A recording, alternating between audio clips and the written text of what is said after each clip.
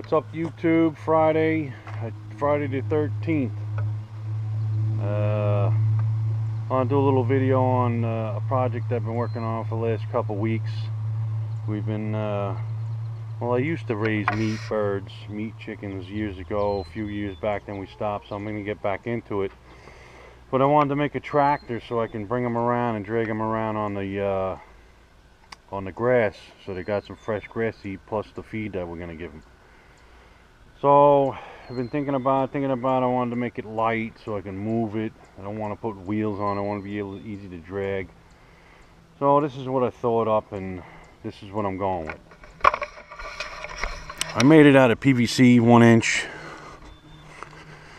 and uh, it is oh I forget how long it is is it 12 feet it might be 12 feet long by uh, almost six foot wide I think. I forget what the measurements were.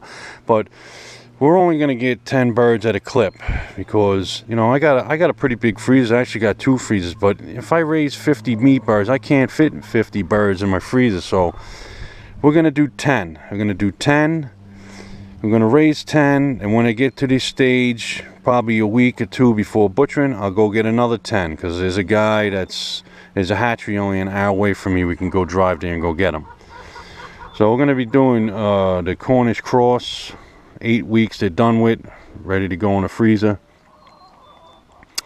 So we're just going to keep that cycle going. We'll get 10 put them in the freezer. By the time the other ones grow we'll probably be we already ate eight almost 10 of them and we'll just keep it going like that. Like I said, I, I can't fit 50 chickens because I got ducks I put in the freezer, I got rabbits, we got vegetables, I got a turkey we usually stick in there, I got deer meat in there. It's just, I would have to get three, four freezers.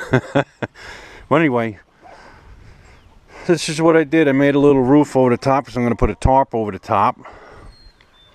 And I wired it all the way around with one inch by two inch uh, cage wire on the bottom too in the first two panels I'm going to be putting a piece of uh, in, in, in all four squares there's going to be a piece of fiberglass board that's going to sit in four in all four of those in case they want to get off the wire or get on get up on something dry out of the rain or whatever. So these four are going to be covered.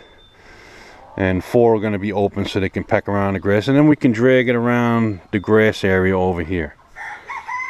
This whole top is going to be able to be opened up. I got to finish it yet. I'm to hinge it so it flips over this way and then back. We can put the feeders and the waterers and also I'm put a door on this side too I got a door on here that's going to go on and get hinged so it'll have a tarp to get out of the rain out of the sun I'll be able to move it around throughout the fields whatever I mean, I can even put rabbits in here if I wanted to and let them chew on the grass, but for right now, it's a meat wagon. We're going to get some chickens and get them going. Alright, YouTube, I got a little bit more to do, and probably next week we're going to get the chicks. They probably won't get out into this thing probably for about at least two weeks, maybe almost three. So we'll see how it goes. We'll keep it updated.